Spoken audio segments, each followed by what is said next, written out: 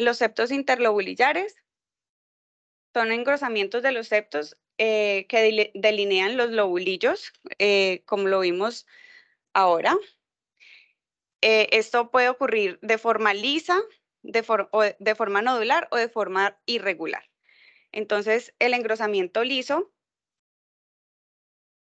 va a ser dado por edema intersticial, lipoproteinosis alveolar, dilatación linfática, el engrosamiento nodular puede darse por carcinomatosis linfangítica, enfermedad linfoproliferativa, sarcoidosis, silicosis o neumoconiosis. Y el engrosamiento irregular puede darse por fibrosis pulmonar o sarcoidosis en fase final. Entonces, este primer paciente es un paciente con lipoproteinosis alveolar.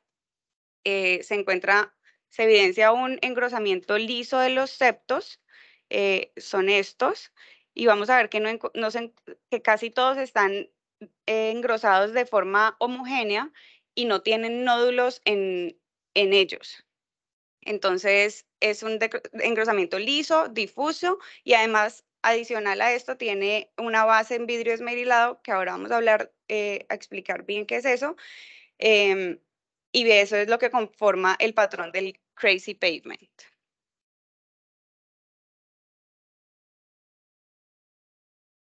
Este es el segundo paciente, es un paciente con fibrosis crónica por neumonitis por hipersensibilidad y vemos aquí eh, señalado por la flecha cómo tiene un eh, engrosamiento de los septos que señala el, contorno del, del lobulillo secundario. Adicionalmente tiene pues reticulación subpleural. Y este es un paciente donde se evidencia el engrosamiento nodular. Vemos que las flechas señalan eh, que los septos, las líneas de los septos, pero dentro de ellos se encuentran eh, pequeños nódulos. Eh, este es un paciente con sarcoidosis en, fase inicial.